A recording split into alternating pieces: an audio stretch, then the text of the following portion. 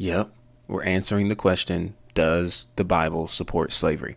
If this has ran across your mind and you're like me and it kind of was mind boggling, this video is for you because this is going to be the time where we're going to dive into scripture to see is it biblically supported, right? Does God support the actions of slavery? And it's kind of crazy because when you think of slavery, you think of the 400 years of slavery, right? Enslaved African Americans, right? Ancestors, people who were, wow, that truck is kind of loud or whatever that is. But anyway, um, people who were enslaved, people who were enslaved for 400 years, right? We see a whole lot of evil activity taking place, right? The mistreatment to slaves, their families, their loved ones. We're talking about things like raping their women, right? We're talking about unnecessary harm, unnecessary killings, unnecessary deaths, people who are chained and shackled, people who are forced into so much harm, right? I mean, this was literally the way of living, right? Mostly in, excuse me, southern parts of the country for so many years, right? Northern too, but just in general in the United States. Okay. So Western culture or westernized slavery, if you will, slavery that took place in the Western culture, um, is it supported? Because this is the first thing that comes to our mind when we see the term slave, maybe even servant, right? And there are different categories in scripture where we see servant and it doesn't carry the same implications as it does in another verse. So we do have to be mindful of that, okay? But when we look at slavery, what does God support that? Like, what in the world is going on? Right. So I want to bring you to some text just so I'm not sounding too crazy. Right. I want to bring you and show you a couple pieces of text where we are going to just basically dive in and really understand what is this text saying in context and what does this mean for slavery and if God supported. So I want to take you to Ephesians 6. Okay. Ephesians 6, verse 5 through 9. Which reads this. Okay. Slaves, obey your earthly masters with respect and fear and with sincerity of heart just as you would obey Christ. Obey them not only to win their favor from their eye and when their eye is on you, but as slaves of Christ, doing the will of God from your heart. Serve wholeheartedly as if you were serving the Lord, not people, because you know that the Lord will reward each one of each one for whatever good they do, whether they are slave or free. Verse 9 reads this, again, new, new international version, by the way. And masters, treat your slaves in the same way do not threaten them, since you know that he who is both their master and yours is in heaven, and there is no favoritism with him. Okay, so there's a whole lot that's said there that really debunks this idea of God supporting Western culturalized slavery. But I want to take it another step further. Okay, in the book of Philemon, that's literally one chapter. Paul writes to to Philemon. Okay, uh, Paul, who is still a prisoner, uh, who is still in prison, writes to Philemon and he's writing to him in regards to a runaway slave named Onesimus.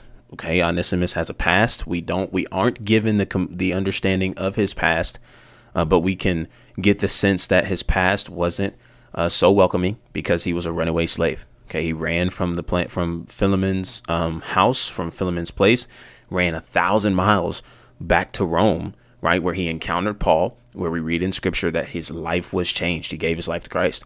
He started uh, working with Paul, serving Paul, and Paul thought that it was a good thing, that it was in his best interest to return back to his owner, back to his master, who is Philemon.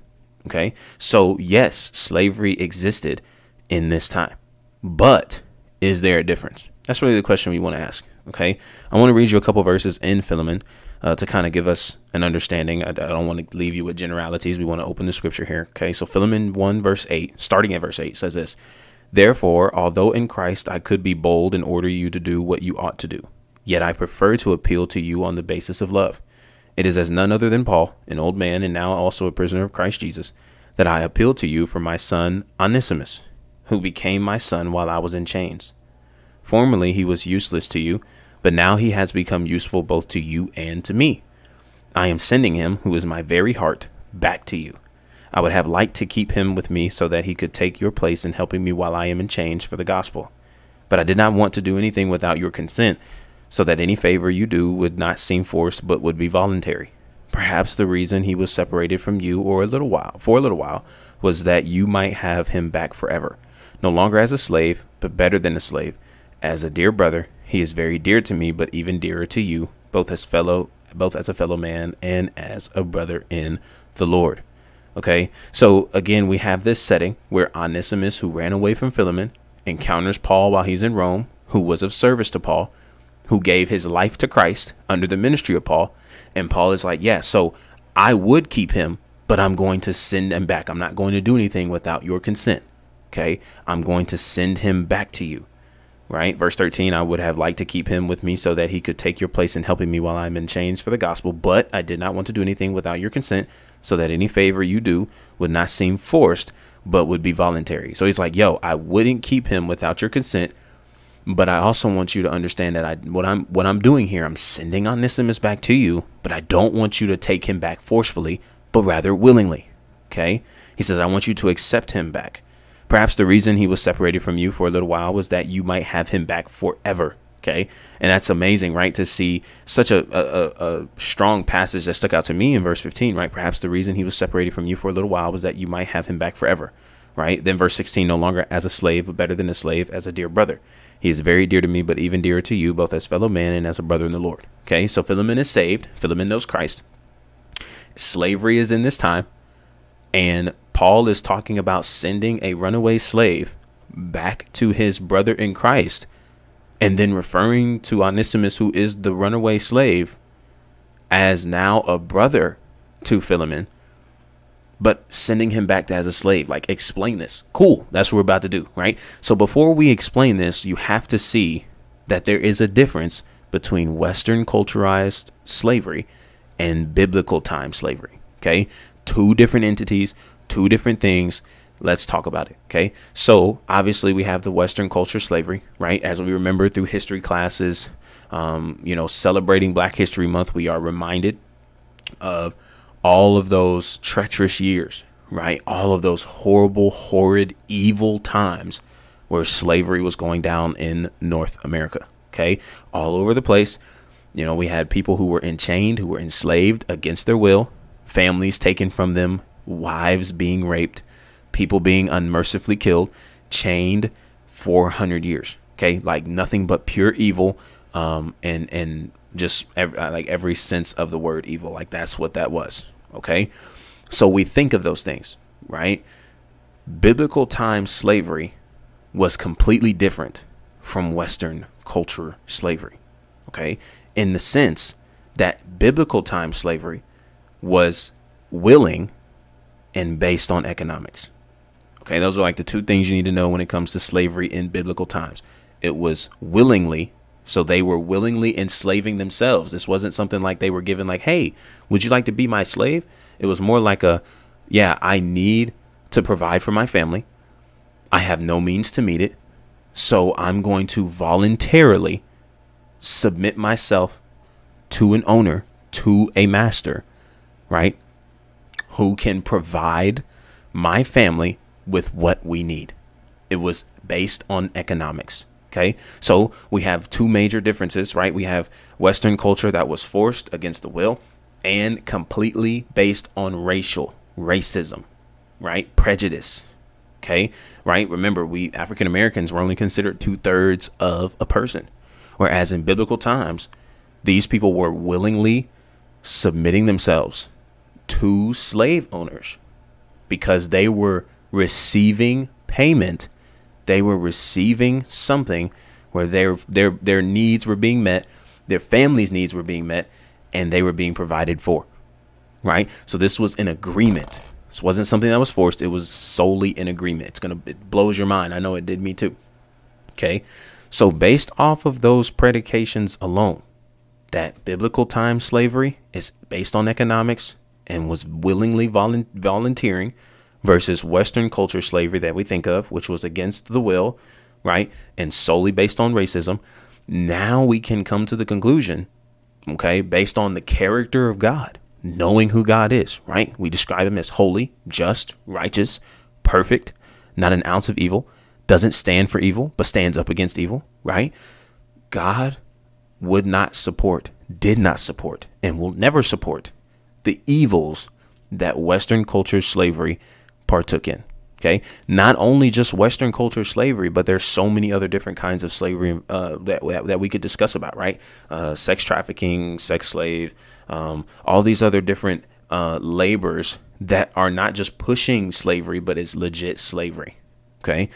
So God, being just and holy, his character and who he is, would never support this idea of what the Western culture allowed slavery to be. Right. In fact, there is writing, and let me actually pull up the verse here. There is scriptural writing that shows that slave traders are actually considered uh, just as bad as someone who is a murderer, right? Like it is condemned in scriptural writing. Okay. Let's see here. First Timothy 1 verse 8 through 10. I believe that's the text. First Timothy 1 verse 8 through 10.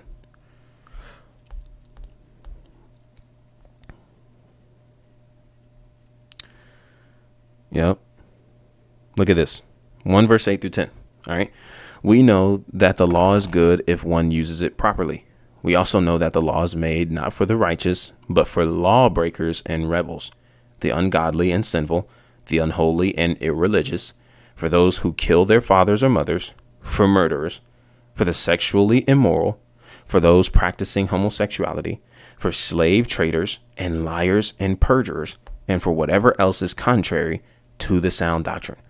So all of those things that were just listed in 1 Timothy 1 verse 8 through 10 is contrary to sound doctrine, which simply means that this is not supported. These are not actions or lifestyles supported by the gospel at all. Nowhere. Okay. So if you remember history, you remember history classes, slave traders bringing ships of slaves to the New World and putting them on plantations. And it just starts the vicious cycle of the evilness of slavery in North America. That was against God's word. Not only was it against God's word, but it does not represent the character of God. So all of this evil that takes place, all of these things that take place in North America, God did not have his hand involved in any of that. They tried to tie his name to it, right? You had slave owners who were trying to use the Bible and, and really manipulate it to try and get people to see that, yeah, God supports this. And because God supports this, you need to support it and things like that. And they were completely taking text out of context all the way around because nowhere in scripture does God agree with slavery, even though slavery was taking place in biblical times. Again, it's not the same as it was transferred to be from one side of the world to another. And it's kind of crazy because we kind of don't really know how we got from an economic based slavery where people were volunteering themselves to then coming to the Western culture and seeing people forced against their will, beaten, raped, killed, all of these things, so many evils going on. Like, like it's just a crazy transition. And nothing else can make sense of that other than sin and man getting in the way, man creating their own rules, man, and the sickness and evilness of humanity that caused that shift. Okay. So now that we look through that, okay, we see some differences between the biblical times, Western culture, slavery that are completely different, right? Also, not to mention that in biblical times, not only was it based on economics, volunteering, right? We had doctors, lawyers, farmers who were willingly uh, submitting themselves to a master because the master was providing for them and their family. It was a way for means to be met. Okay. It was also regulated. Okay. That's not something you hear often when it comes to slavery discussions. But yes, in time, in biblical times, they were regulated. Okay. So we see some differences there. All right. So I want to share with you, or actually just go back to the text that we initially opened up with. Right. So again, Ephesians chapter 6, verse 5 through 9. Let me pull that back up. Ephesians chapter 6, verse 5 through 9, right? We see this context of slaves obey your earthly masters, masters treat your slaves accordingly. We see this relationship taking place. Now, oftentimes you'll see people relate it to, yeah, well, this is employee to employer. Okay. To an extent, I can get that, right? Because no one, or it's slavery isn't, um, well, racial slavery as we once knew it is no longer the case, right? So we get the imp- the implication or the mindset of hey, yeah, employee to employer, so you're going to do these things, right? And in actually, in all actuality, uh, this text actually can be taken in that direction because again, slavery in biblical time was based on economics. Okay. So they were receiving something for volunteering themselves to be uh, enslaved to a master, right? For their families and being taken care of, all the things that we just went over. Okay. So let me keep this text in context. Slaves, obey your earthly masters with respect and fear and with sincerity of heart, just as you would obey Christ. Right. So Paul is, is saying, hey, yeah, you are going to obey your earthly masters and do your work as you would unto the Lord. Right. Everything you do, you will do as you would unto the Lord. In this case, slaves, be obedient to your earthly masters, right? Obey them not only to win their favor with their eye, when their eye is on you, but as slaves of Christ, doing the will of God from your heart. Okay, so don't cheat yourself. Don't be like, you know, if you're doing a workout and you're doing abs and it's burning and it's going crazy and the coach walks by and he, he, you know, as he's walking by, you're doing it or as she's walking by, you're doing it. But then as soon as they turn their back, you just stop. Right. So he's saying, hey, yeah, don't do it if they're just looking at you. Don't be all about the work if they're just looking at you. No, be honest. Be dil- diligent. Um, be be honest in what you're doing, and what you're doing. Right? Do from your heart. Do from your heart for God. Okay.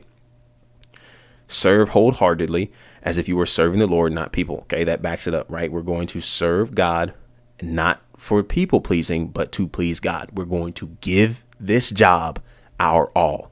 Okay. Verse 8 Because you know that the Lord will reward each one for whatever good they do, whether they are slave or free. Verse 9 And masters treat your slaves in the same way. Do not threaten them, since you know that he who is both their master and yours is heaven, and there is no favoritism with him. So, this text, even alone, Ephesians 6, verse 9, debunks this idea that God would ever support the evils of slavery in the Western culture. Okay. God plays no favoritism. So, it doesn't matter if you're black, doesn't matter if you're white, doesn't matter if you're Mexican, Hispanic uh, Asian, uh, European, it doesn't matter what race, what ethnicity, what, you know, it doesn't matter. God plays no favorites. Well, we can clearly see that in Western culture slavery, there was clearly a sign of favoritism that not only stemmed there, but unfortunately, we still see those kinds of signs today where people are favoriting one race, one group, one people over another. And God does not play favoritism. Now, I don't want you to get confused. I don't want you to run away with this and be like, "Oh, so God doesn't play favoritism, so I get to be whatever I want to be and and God's going to love me and accept me and support me regardless." No, that's not what this text is saying. Because in the end, God is not going to contradict himself or his character, also including standing for righteousness. He's not going to contradict that. Okay, this text does not say that God is going to support you in everything you do because he doesn't play favorites. But what this means is that he's impartial. So he loves everyone the same. Yes, he loves everyone the same, but this doesn't mean that he loves everything you do, right? This is why the scripture preaches repentance and forgiveness and coming to Christ and admitting that we're sinners because just because God loves us doesn't mean he loves what we do, what we get ourselves involved in. That doesn't mean that. Okay. So don't run away with this idea of no favoritism. So I just get to be whatever I want to be. That's not what this text is suggesting. But what this text is suggesting is that, hey, masters of these slave owners or masters of these slaves, right? Even though they're slaves to you in the flesh, you respect them, you love them, you treat them with kindness, and you don't play favoritism, right? Because how you treat them is ultimately how God's going to treat you. Like that's the picture that we get. If you mistreat them, God's going to throw that right back to you and allow that to come back your direction. Okay, so that's the context of the text in Ephesians 6. If we go back to Philemon, we read a majority of it earlier, right? And I'll pick back up where we left off. But understand again, Onesimus, who is a runaway slave, comes down to Rome, visits Paul under Paul's ministry, gets saved, comes to Christ, and now Paul is asking Philemon to receive Onesimus back unto his care willingly right? He's like, I'm not going to make this a, a, decision or make this a thing where you force, I'm going to force him or force you to receive him. He says, no, this needs to be willingly. Okay. He says this too. He says, perhaps again, as we went over earlier, perhaps the reason, verse 15 uh, in, in Philemon, perhaps the reason he was separated from you for a little while was that you might have him back forever. Right. So Paul is alluding here that, hey, this separation that took place, right, was for a reason because even the Holy Spirit used this situation of him running from you to bring him to Christ. So, this situation of him running away from you, there wasn't bad in all of that because it was actually used, or the Holy Spirit used this situation to bring him back to Christ or bring him to Christ. So then he goes into verse 16, no longer as a slave, as a no longer as a slave, but better than a slave, as a dear brother. Now that that's kind of trippy, right? So again, not really though, when we remember the context, okay? He's asking him, he says, Hey, when you receive him, don't receive him as you would a slave. He's now in Christ.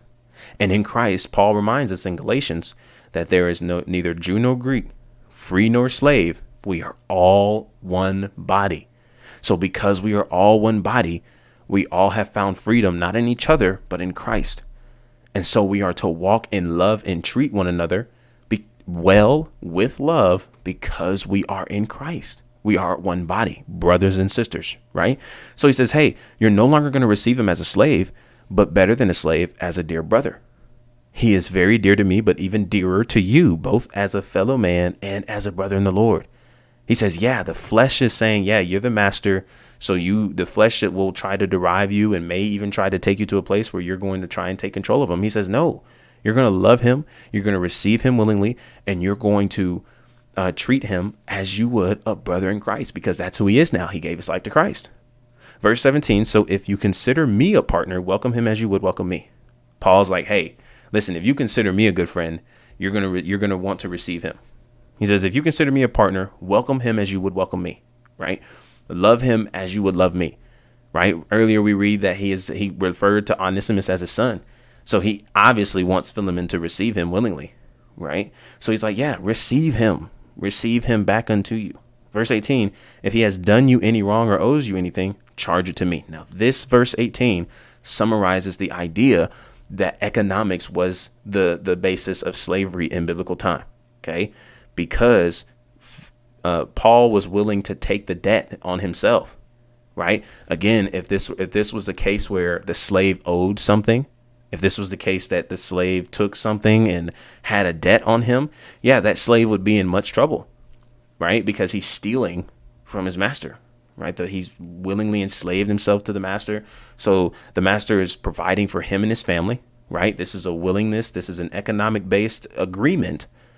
And this, you know, it, it, let's just say that Onesimus did have this debt. We don't know, but Paul suggests that, hey, if he has done you any wrong, if he has, if he owes you anything, charge it to me. Don't put it on his account. Charge it to me. Okay. Because I want you to receive him back unto you. Okay. I, Paul, am writing this with my own hand. He's like, I'm letting you know, like, this isn't a scribe. This is me. This is me, Paul, talking to you, Philemon. Okay. He says, I will pay it back. Not to mention that you owe me your very self. I do wish, brother, that I may have some benefit from you in the Lord. Refresh my heart in Christ. Confident of your obedience, I write to you, knowing that you will do even more than I ask. And one more thing, prepare a guest room for me because I hope to be restored to you in answer for your prayers. He finishes this chapter with fellow greetings. Okay. So I read all of this to you to give you the sense of what I was speaking earlier in regards to Onesimus, who was a runaway slave, who Paul is willingly looking to send him back. Right. So the question, right, why would Paul want to send him back? Because this agreement that they made, right, they are to uphold. So Onesimus, who ran away, and before he ran away, he probably was no good, right? It could be concluded, we don't really know, but it could be concluded that Onesimus wasn't really upholding his end. He was kind of being a pain in the butt to Philemon, if you will, right? So, running away from Philemon, encountering Paul, the Holy Spirit using this separation, verse 15, right? Perhaps this was a case where he separated you for a separated from you for a season so you would be with him forever so he could come back to you forever right so the Holy Spirit using this situation to bring Philemon to Christ, right? Then serving Paul, and then Paul using this, using or you know allowing Onesimus to be of service to him, and then writing to Philemon says, "Hey, I'm going to send him back on your consent, and I want you to receive him willingly as a brother, not as a slave."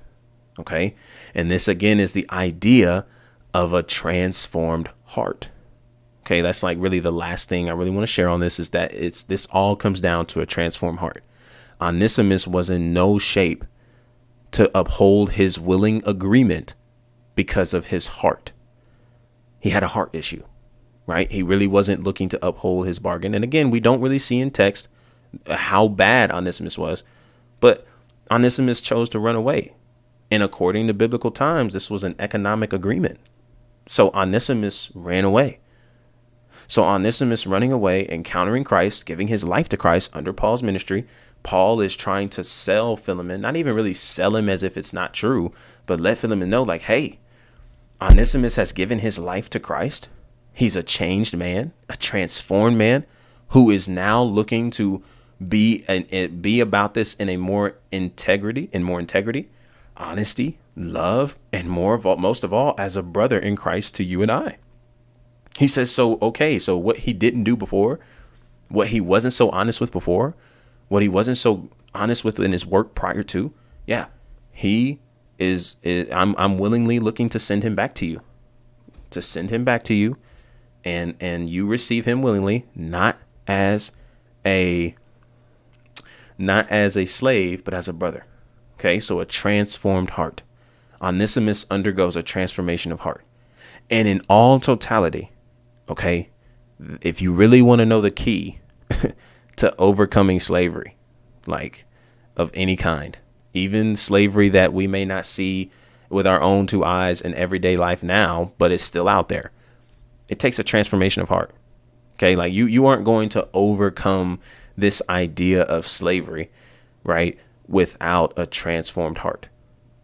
Okay right? Every everybody kind of gets wild up and it gets tense when we talk about slavery and things like that. But understand that again, God didn't support this Western culturized view of slavery. He never did and he never will. Okay. And then the questions become, oh, well, then why did he allow it? Right? Why did he allow 400 years of slavery? Why did he allow so much suffering? And this is kind of where we encounter his sovereignty, right? God is going to do ultimately what he wants to do because he rules. Now, that might make you feel salty, but it's true. That is truth. God will do what he decides to do when he decides to do it. And he allowed slavery to take place. Ultimately, it was man's decision to turn it in such a way, to pervert it, to cause it to, to fall in wickedness, um, to be to be awful in all kinds of ways. So that was man's decision that God allowed, but that God also delivered us from delivered uh, uh, African Americans from. Right? Uh, so understand that God's sovereignty rules. Okay? That's why he allowed it because God does what he does, when he does it, how he does it. And us as his creation don't get to question or, or uh, kind of raise our fist in a manner of saying we're right and he's wrong. Like he, he's sovereign, right? He's sovereign. So God didn't didn't uh, uh, have anything. God's hand was not in that, right? As of, of course, as we mentioned earlier, slave owners would misinterpret, mistranslate all these things. Like God wasn't involved in that evil. Like God had nothing to do with that evil. He didn't direct them. He didn't call them. He didn't do anything of that. That was all man, all man for those 400 years of, of suffering. Okay. But we see the slavery that is represented in biblical times where it was economical, it was willing. The masters were providing for the ones who became slaves to them, right? And it was an exchange taking place. Labor for for reward, labor for money, labor for this and that. Okay? Which is kind of why you can see this understanding of this employee to employer connection because biblical slavery was based on economics. Okay? So, as we explained in First Timothy and as we explained in Philemon, and, and overall, overcoming this idea of slavery requires a transformed heart. Not to mention that even in the book of Philemon, we do see forgiveness, right? Uh, Paul ushering and wanting Philemon to forgive Onesimus for running away, receive him back unto him, not just as a slave, but as a brother. Like we're seeing forgiveness and a transformation of heart that is able to overcome this idea of slavery. Okay. So that was a pretty winded, long video. So I hope you were able to get something out of this.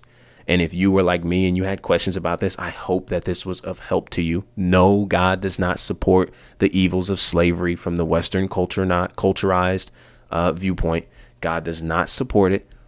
Okay. Slavery was taking place in scripture. Yes. but it wasn't as we normally would think it and as we were taught it growing up in school of the chains and racial and and all these things that were evil compiled on one another that was the basis and the ground roots of slavery in western culture but it was rather predicated on economics and willingness where people were looking to enslave themselves doctors lawyers farmers all kinds of people were willing to enslave themselves to someone who was willing and able to provide for their needs and the needs of their family. It was a labor for exchange of reward. Okay. So I hope that this clears up some things. I hope that this was very helpful to you. Um, and I can't wait to have our next conversation here shortly and soon. But as always, until next time, peace.